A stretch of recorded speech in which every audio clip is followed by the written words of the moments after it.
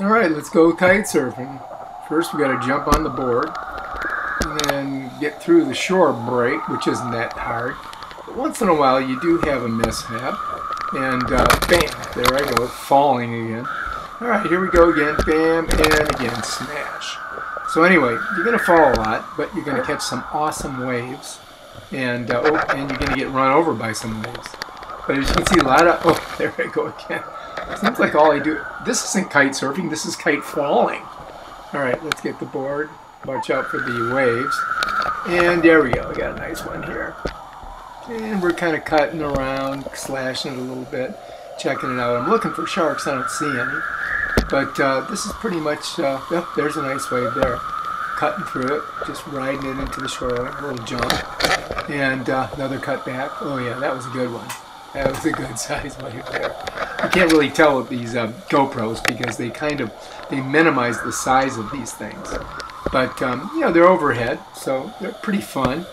Uh, you just got to catch them at the right time and try to do a nice carve through them and ride them. And um, yeah, Delray Beach kiteboarding is where you can have all this type of fun. And uh, we'll teach you how to kite surf, how to kite foil, how to uh, do uh, freestyle kiting with twin tips or bidirectional boards. But the most fun, of course, is when we have these big waves.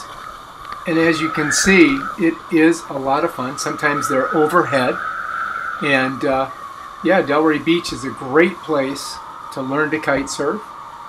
And it's a great place to, uh, you know, catch some awesome waves. Here I'm about ready to get slammed. Just had to loop the kite to get out of the way of my board so it wouldn't hit me in the head. Over here, we're going through some shore break. And as you can see, uh, you sometimes do fall. And then you've got to, you know, figure out how to get back to your board. Here's a nice wave here. Oh, bam.